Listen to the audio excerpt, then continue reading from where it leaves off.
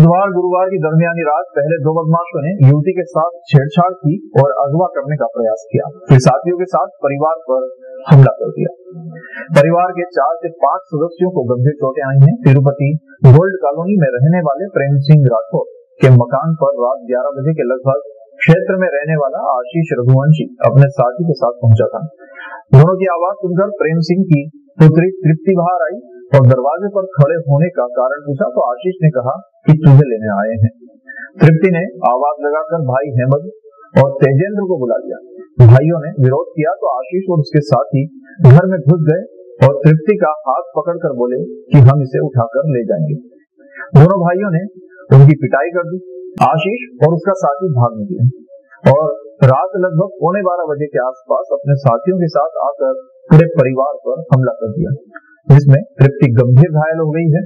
दोनों भाइयों के साथ पिता प्रेम सिंह और माँ कृष्णाबाई को भी चोटें आई हैं। शोर शराबा सुनकर आसपास के लोग घरों से बाहर आ गए। हमलावर मौके से भाग निकले। मामले में घायल तृप्ति की शिकायत पर चिमनगंज थाना पुलिस ने आशीष और उसके साथियों पर मामला दर्ज किया है।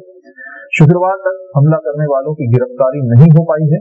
इधर बुधवार रात तिरुपति गोल्ड कॉलोनी में हुई घटना के विरोध में शुक्रवार को करणी सेना सर्व समाज ने चिमनगंज थाने पर घेराव कर धरना दिया और उज्जैन पुलिस प्रशासन के खिलाफ मुर्दाबाद के नारे भी लगाए। पुलिस की निष्क्रियता पर सवाल उठाए। साथ ही आरोपियों की गिरफ्तारी की मांग के अलावा आरोपियों के खिलाफ धाराएँ बढ़ाने की भी मांग की।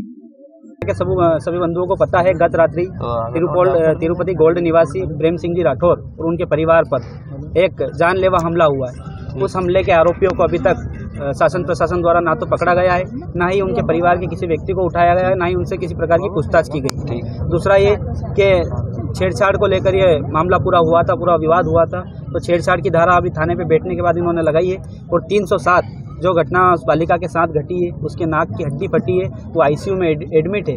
आज सुबह उसकी पल्स भी गिर गई थी मतलब उसके जान को खतरा है कहीं ना कहीं और शासन प्रशासन ने अभी तक 307 की कार्रवाई उनके ऊपर नहीं आ, नहीं की है। और इस प्रकरण में इस थाना क्षेत्र के जो थाना प्रभारी है उनका जो रवैया है उन्होंने कल बोल दिया कि पट्टी करा कर घर जाओ। तो उनके रवैये से भी हम लोग सब लोग संतुष्ट नहीं है और ज़िम्मेदारी अधिकारी इस पर कार्रवाई करे और थाना प्रभारी को तुरंत प्रभाव से निलंबित करे। कि दो दिन पहले तिरुपति कॉलोनी में दो पक्षों में आपस में विवाद हुआ था जिनमें हाथापाई भी हुई थी। उसको लेकर इनकी कुछ मांगे हैं। कि जिसमें लड़की के साथ छेड़छाड़ की घटना होना बता रहे हैं तो लड़की के बयान भी बयान करके उसमें अगर धारा इजाफा होती तो धारा भी बढ़ा दी जाएगी। नॉर्मल धाराओं में एफआईआर हो चुकी है। और इसके अलावा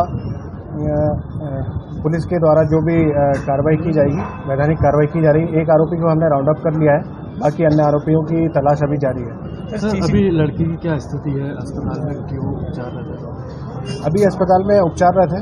लड़की आउट ऑफ़ कंट्रोल है अभी उपचार रहते हैं। अभी उसमें आ, आ, आगे की कार्रवाई जो भी रहेगी उससे आपको अवगत कराएगा